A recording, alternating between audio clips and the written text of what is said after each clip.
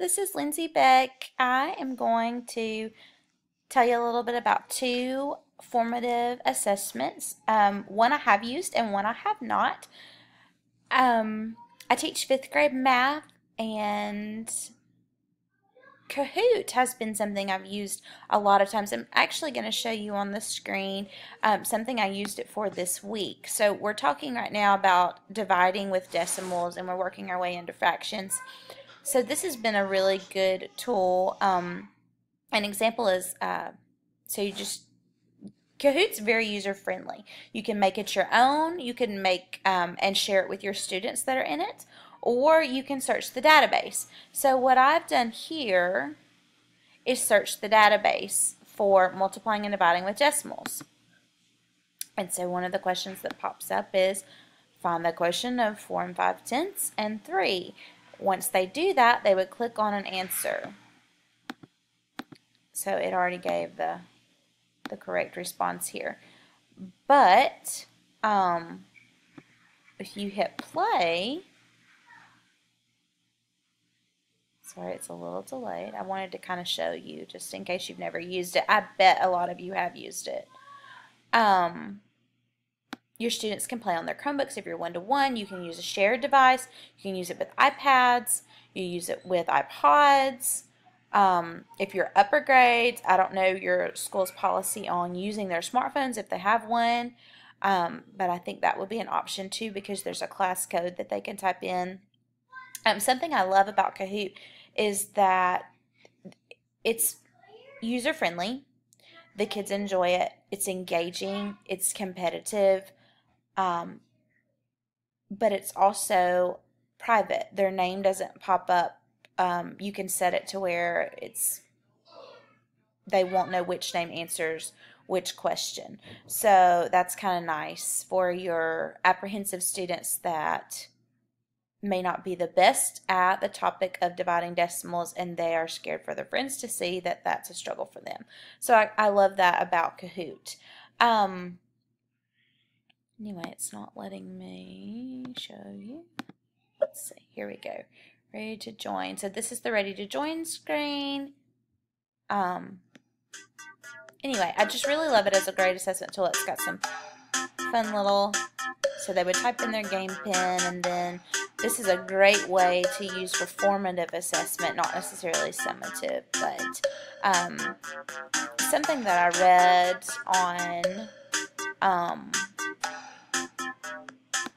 the um, website was this, and it kind of stuck with me. Test scores should never be a surprise to us, and I think that using formative assessment and formative assessment tools um, definitely will eliminate the surprises of what you think might happen when they go to take summatives and it's uh, just really good data to fuel your teaching. Um, another one is Edpuzzle, and I'm new to Edpuzzle, so I took some time to to run through it and see um, how it works. So it's a clip and edit. You can clip and edit videos. So let's say, I, here we go. So this is a multiplying and dividing using decimals video and I can clip it, add in questions as I want. So if I were to use this in a mini lesson, if she posed the problem, I could say, how would we set this up in box method as a question and then look on their papers to see how they would do that. So I think that's a really good tool um, to be able to see if they can follow yeah, using a video and being able to respond. Um, you can embed the questions, you can assign the assignments to the students, and you can see the data of how they did on your questions. One thing I didn't notice is if they could they can't compete with this, which is fine.